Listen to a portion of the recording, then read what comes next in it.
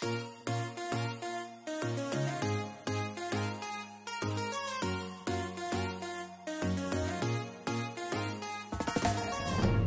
So welcome, we're in the Plymouth Dryland room. Right over there we have the dry board, which uh, you can do flips and twists. You can do tricks that you wouldn't normally be able to do. You can do it into there. You have harnesses, which uh, coaches will pull athletes up, protect them, keep them safe.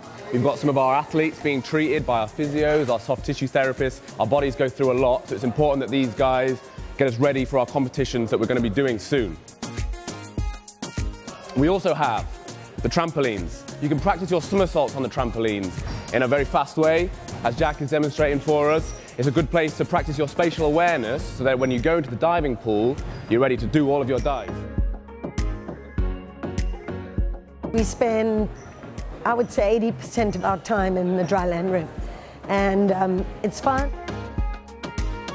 finished in the gym and about to get in the pool and train some 10 metre dives. Yeah, I'm really looking forward to it. I always enjoy coming down to Plymouth and seeing everyone and hopefully all the competitions go well.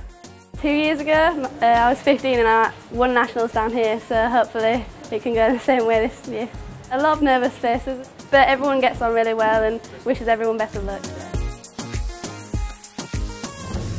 Usually, you know, come up with a chamois it's like a little towel which you dry yourself with. You make your way upstairs using that. You're usually a bit out of breath, so you want to have a bit of time to just sort of relax. You know, you don't want to be thinking too much when you're on the board because if you overthink things, stuff's going to go wrong. And you know, when you're falling from you know this height and the impact that you fall at, you can hurt yourself. And then usually you want to do some dry run throughs, which uh, it's an imitation of the dive, and you go through it mentally in your head as well. And then uh, yeah, then you just uh, let it go.